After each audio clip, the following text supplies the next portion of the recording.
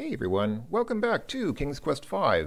So, continuing the great tradition of showing the different ways that you can die in the game, you might reasonably wonder, hey, okay, so it's nice that that eagle saves us from this uh, roc in the roc's nest if, uh, if we fed the eagle, but what happens if you come to this point and you didn't feed the eagle? Well, we're about to find out.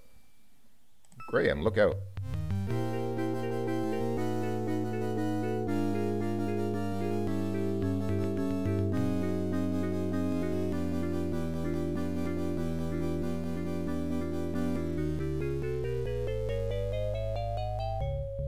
Now this part plays out pretty much the same. I mean, you can take the locket here if you want. It doesn't really matter because we're not going to survive this, obviously. Uh, nice birdie. Good birdie. coochie coochie coo.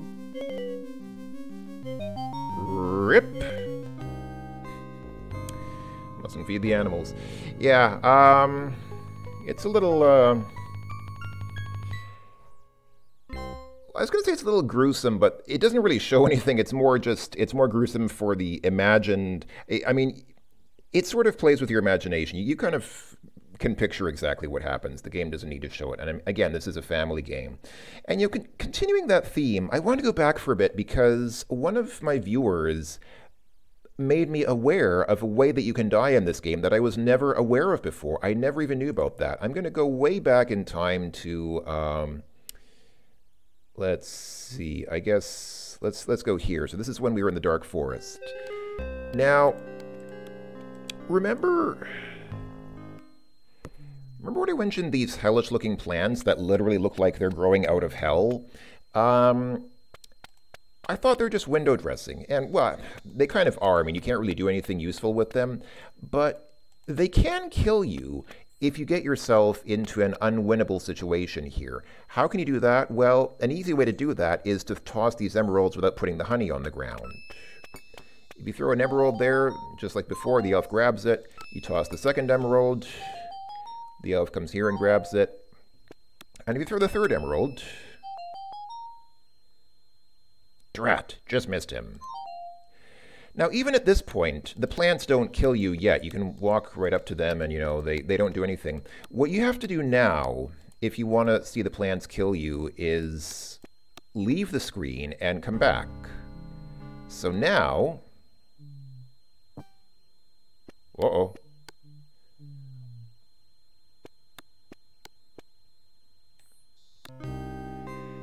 It looks like Graham is having a vine time now. Now, I have never seen this before uh, in my life before a couple of days ago because I guess I just never, you know, I just never really tried this. I mean, I guess I did try throwing the emeralds without using the honey, and then I realized, okay, you got yourself into an unwinnable situation by doing that because you can't win the game without the, if you don't have the emeralds anymore, and you didn't catch the elf. But I never tried leaving the screen and then coming back here. So this is kind of the game's way of telling you, uh, you you can't win anymore, which is kind of nice. So you're not just kind of left wandering around uh, wondering why why can't I win. You can also have the same thing from these other plants over here. Uh, wait, sorry, not here. Now I need to go. I need to go way back to uh, here again. And somewhere I think, yeah, these plants right here. These plants will do the same to you if uh, if you walk by here after throwing the three emeralds without catching the elf. So, so yeah, I never knew about that. So big thanks to viewer uh, Fender178 for telling me about this one because I I just never knew. It's just, you know, I, I thought I knew pretty much everything about this game, but there's, you know, there's still stuff like this that you can discover that, that you just, uh, or at least that I never knew about. And yeah, you know, finding different ways to die is part of the fun of playing a Sierra adventure. I mean, that this is one of the reasons, again, I'm not, I've, I've harped in the past about how I don't like games where you can't die it just seems a little contrived to me. And, you know, that's part of the reason for that. It's just, it's fun figuring out little ways like that that the game will kill you.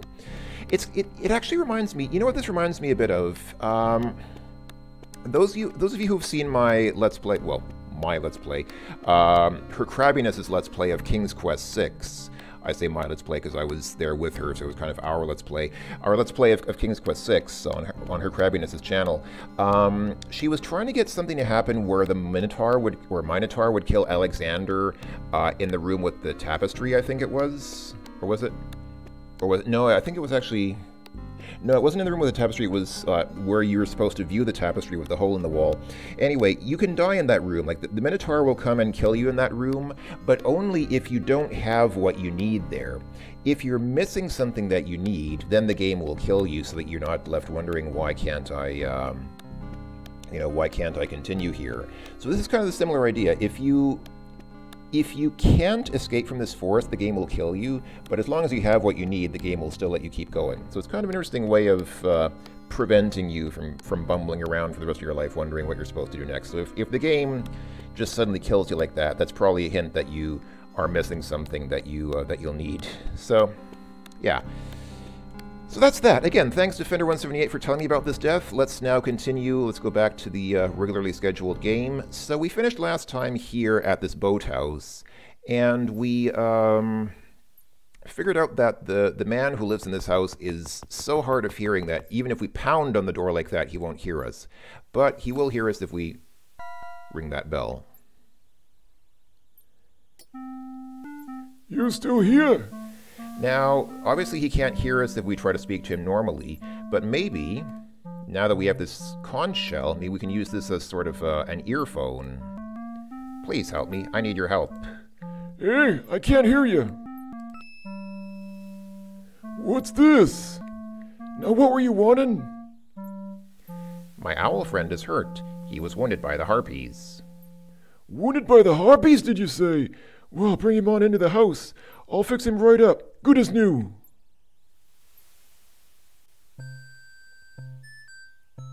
Lay him on the bed there. These poultices should fix the little fellow up good as new.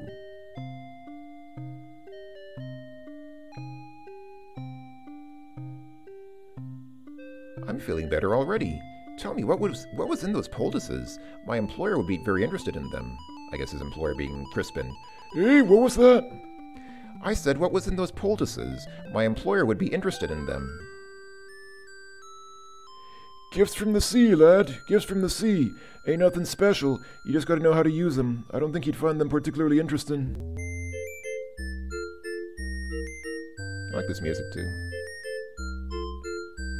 Now, son, what was it you were trying to tell me before? You was trying to tell me before? I was trying to find out where the wizard Mordack's island is. He kidnapped my family and is holding them hostage there. I must get to them before it's too late. Oh, I'm right sorry to hear about that. He's a nasty one, that Mordack. I wouldn't want to tangle with him.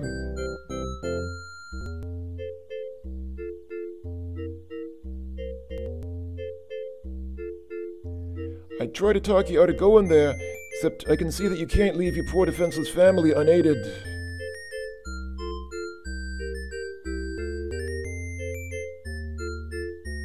I can enlist someone who can lead you straight to his island. Follow me outside.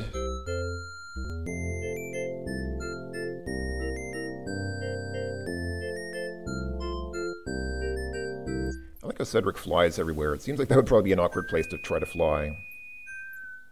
Whistle. Pearl, this man needs your help.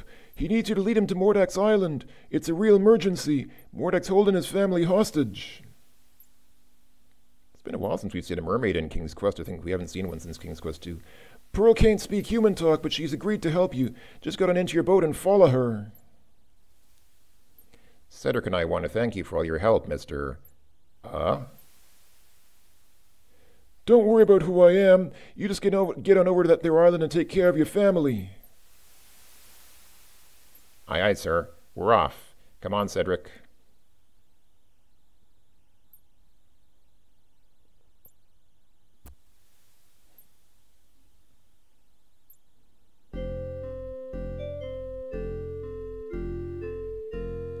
enjoy this because this is your last view of something pleasant before the end of the game. Well, actually, no, that's not true. We'll see something very pleasant later on.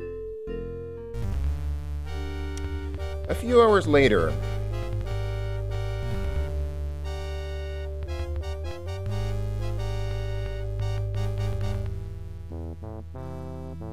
Oh no, watch out for the rocks, Graham. Brace yourself, Cedric.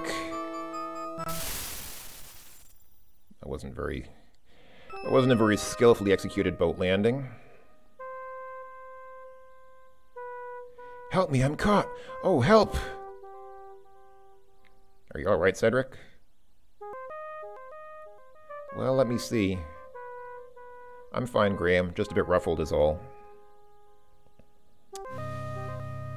Alright, folks. Welcome to Hell. Yeah, I mean, okay, this is Mordack's Island. This is the last location of the game. Um, and it's not incredibly disturbing, but uh, some people have commented that, you know, they, they found some of the imagery here kind of disturbing. And it kind of, uh, I can kind of see why thinking about it. Well, I guess I'll talk more about that in a bit. Let's take a look around what do we have here. So, oh dear, now what? Poor Graham's boat has been dashed to pieces against the jagged rocks of Mordack's Island and is now completely useless. I always find it odd, to me intuitively, when you put an exclamation mark and a question mark together. Intuitively, I always want to put the question mark at the end because it's still a question. I mean, to me, it seems like you would expla- exclaim, now what, and then put a question mark at the end to turn it into a question.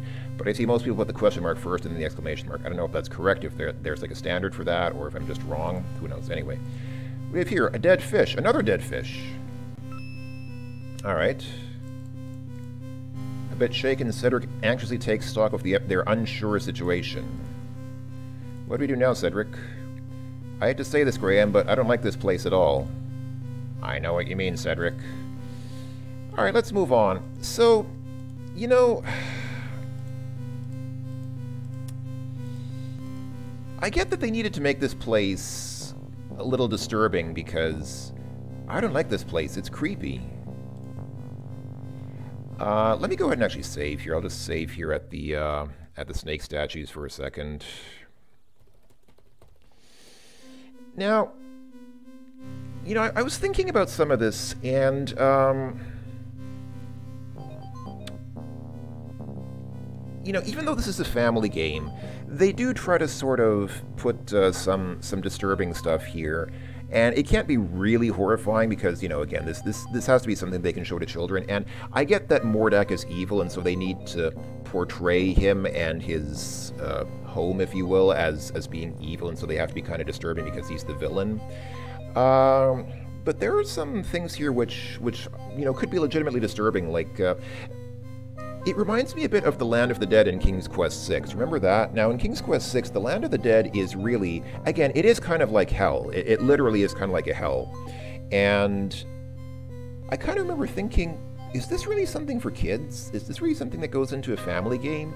It's not super disturbing. I mean, it's not again, it's not really incredibly disturbing. I've seen much more disturbing things in my life, but I don't like that kind of thing where they, they you know they try to creep you out. That's not. I know some people like that, but I, I just don't. I don't get that. Like it's not. It's not my kind of thing. But on the other hand, I remember playing this game and thinking, like when I saw these snake statues, I thought those look really cool, and I, I remember thinking if I ever own my own house, like if I if I have my own house, like you know, kind of not like a suburban house, but like a house a little bit outside in the country with like a long driveway going up to it, I would want these snake statues here, just as kind of like a call out to King's Quest V. I would actually want to have these snake statues on my driveway, just because they look so cool. And yet at the same time, the snakes are kind of disturbing. So you know, it's kind of like the human being has a desire for a certain degree of horror, a certain degree of of something disturbing and terrifying, but not too much. You know, and different people have different degrees where they say no, that's too much. I mean, for me, the, these snake statues are okay. Like they, to me, they look kind of cool. But uh, there's some stuff where I just say, nah, man, I, I, I'm not into that. That's just that's not cool. Anyway, sorry, I got a bit sidetracked there. Anyway, so two monstrous statues of grotesque, distorted serpents face each other across the narrow trail leading to Mordack's castle. What happens if we try to walk between them? That is what happens. The eyes have it. I don't know why they put... I mean, they put the word eyes in quotation marks as if it's a play on words, but it's not really a pun. It, it literally is the eyes. It's not like... It's not like a word that sounds like eyes. It literally is the eyes of the statues.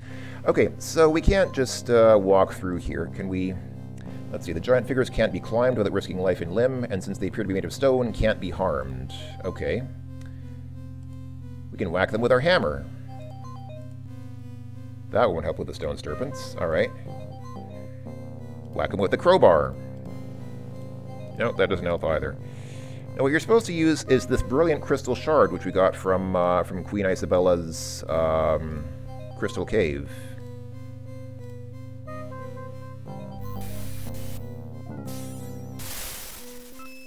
That's also pretty awesome. it actually... I mean, again, I know it's kind of disturbing, but it, it, it, just looks kind of awesome. It's, it's like really metal with their eyes just smoking like that. It's kind of... I don't know. Like I said, I get it. Sometimes stuff like that is cool, and sometimes it's uh, sometimes it's not. All right, so let's see. Where are we? Where are we at here? So we are obviously... Well, see, there's no way in. Let's turn back now. Come on, Cedric. Uh, why do you say there's no way in? I mean, there's a... There's a, a door right there. Why don't we just open the door? Let's go up to the door and open it. No, don't! Yeah, that that really got me the first time. The first time I saw that, or the first time that happened to me, because obviously it really looks like a step. It really looks like there's just like a threshold, or I don't know, a, I wouldn't exactly call it a porch, but well, I don't know what you call it, like a. It's not a porch or a patio. I guess just a doorstep here. It really just looks like there, looks, looks like there's a step up here, but no, this is actually a gap. It's not, it really isn't apparent to me, it's not visually apparent to me that that's a gap. It really looks like just a step, but no, that's a gap. You can't walk, you can't walk across it. You'll, you'll fall in and die. Uh, but obviously what we do, contrary to Cedric's claim that there's no way in, we can just go around the side here. Alright, what do we have here? See? Dead end. Let's go back now. No, I'll figure this out.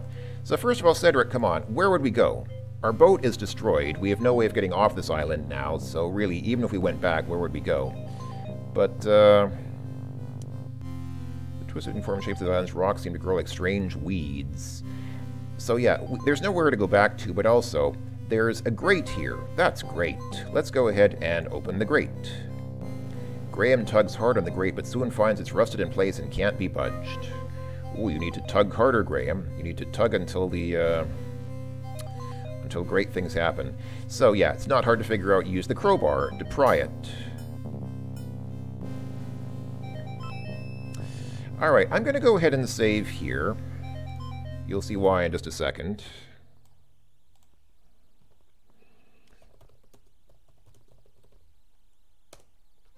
Okay. Oh, I guess I need to use the hand here. Alright. If I look down. The open grate on the stone platform invites Graham's entry. Alright, let's go ahead and head inside. You're crazy to go down to that dark hole. You don't know what's down there. Well, do you have any better ideas? No. Um, mind if I wait for you here? No, that's a good idea, Cedric. You be the lookout out here. Yes, I'll be the lookout. Be careful, Graham. And this is the Labyrinth. Now, as far as mazes and adventure games go, I don't think this is the worst one I've ever seen. I remember when I first played this game with my uncle, he said, you need to draw a map of this maze because otherwise you'll never find your way out. Well, I did find, I, I actually just, at 10 years old, I just kind of brute forced the maze. I just, you know, just clicked around randomly and 10 minutes later I found my way out of it. It's not that difficult. I mean, as far as mazes go, I can think of much worse. Like just, oh, okay. Um, that's good that we ran into this guy. Uh, hold on, let's save here again. This is the Maze Dweller. So whom do we have here? A huge beast sporting a funny-looking top knot bound in a crude hairpin on top of his head skulks in one dark corner of the labyrinth. You know, in retrospect, he reminds me a bit of Zippy the Pinhead. I'm not sure if he's supposed to. I didn't know who Zippy the Pinhead was when I first played this game, but the maybe I guess it's just the thing with the hair. Anyway, can we... Graham should watch his step around this ugly beast. Can we talk to him? Duh. Dink, dink, da da da dink. Dink, da dink dink, da da da dink. You see other things as well? Oh, I just says this one. Okay. In the voice version, he he varies his statements slightly. Like sometimes he'll say, dink, dink, dink, dink. Da Dink. But here he just says the same thing apparently every time. Well, let's go ahead and give him a big hug. Da dink. Shouldn't mess with Dink, Graham. I like how he puts Graham's hat on when he's done. Now, Dink is not evil. He, he kind of seems threatening, but he's I guess he's just he's very simple-minded. So, what's something that would entertain, uh, you know, somebody with a child's mind, like a very simple-minded creature? Uh, we try giving him a fish. It makes no impression on the huge beast. Well, maybe that fish will make an impression if you poke him with it hard enough. No, it does not. Uh, the hammer will make an impression if you hit him with it hard enough. Nope. Tambourine? There we go. That's what he needed.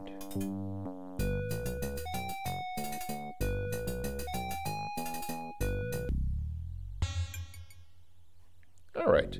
So he flips out, fairly literally, and drops upon the floor the beast's hairpin. So let's go ahead and grab that hairpin. We will need it, definitely. So, so when you're here in the labyrinth, the first thing you want to do is find this guy and get his hairpin. I'll go ahead and save here again.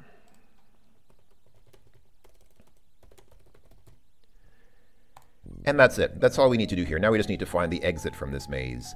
Now that's not easy to do. Um, I kind of have some idea of where it is in my head, so I'll try to get there, but I'll probably get lost a few times. But I mean, again, this this labyrinth, it's not that big. It really isn't. It's, uh, I mean, again, as, as I was saying, compared to other mazes from other games like I don't know, to cite a recent example, remember that maze from Innocent until Caught? That thing was horrible. That was way... Oh, look, we're here already. Okay. There's a wooden door here. Perhaps it will lead into the castle. Let's go ahead and open it. Graham tries to open the wooden door, but to no avail. It's securely locked. All right. Well, what do you do with a hairpin? Oh, it's, it's a carved piece of bone with a sharp metal clip attached to it. Okay, that's nice. Graham inserts the hairpin into the door's large keyhole and discovers to his amazement that it fits perfectly. Turning it ever so gently, he soon hears a soft click, and the door is unlocked. By the way, I tried to do this several times as a kid. I tried to pick locks with, with hairpins like that. It doesn't work. It's not that simple. It, there's a little more technique that you need than that. Um, I'm not going to go into the details because I don't want to teach people... Well, I don't want to teach people how to pick locks, but I mean, I'm sure you can find it easily on the internet, the information about how to do it. Anyway, let's go inside. All right, we are out of the labyrinth. I'll go ahead and save again. Um, out of the labyrinth. Uh, we will need to go back in there later, but it won't be so bad the second time. You'll see why. Anyway, let's take a quick look around here. So we are in the um, pantry of the wizard's kitchen. Graham doesn't see anything of use on the shelves. No. A cupboard catches Graham's interest. Ooh, adventure games Spidey sense. Inside the cupboard, Graham's eyes fall upon a bag of dried peas. Okay. Nice how it doesn't describe anything else. It just says peas, just in case you weren't sure. Oh yes, I take that. Reaching into the open cupboard, Graham retrieves the bag of dried peas. Alright. So we have a bag full of round dried peas. Alright, fair enough. Alright, I think that's all we can do here, so let's continue. The perspective makes that a little difficult. Let's walk through here.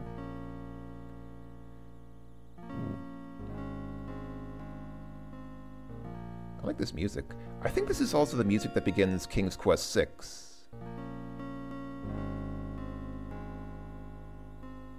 It is. I think I'm pretty sure this is the exact same music that starts the opening sequence for King's Quest VI, and with good reason. If you've played King's Quest VI, you probably know the reason why.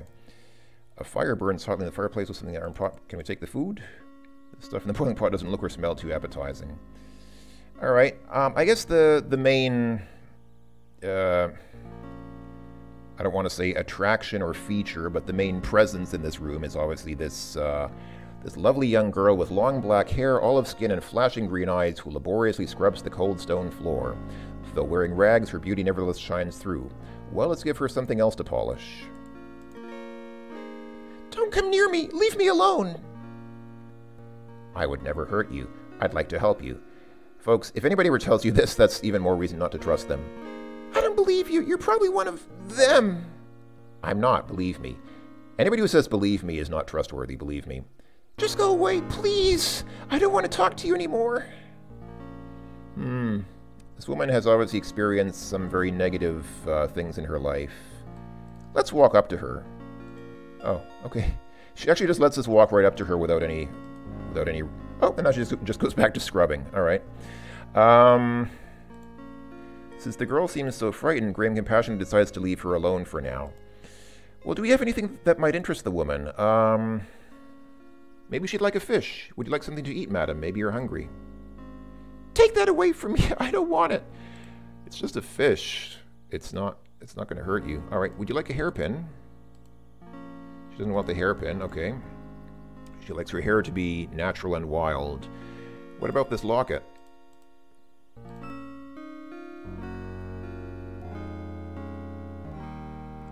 Wherever did you find my gold locket? I thought it was gone for good. I lost it on the island just after it was brought here by Mordack. You wouldn't believe me if I told you. Tell me, who are you, and how did you come to be here?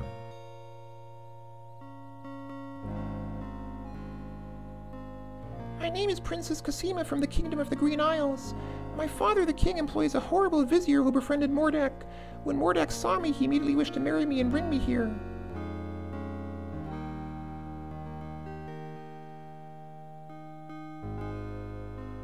Naturally, I refused, and my father agreed with me, but our refusal angered him so much that he stole me here anyway and put me to work as a scullery girl.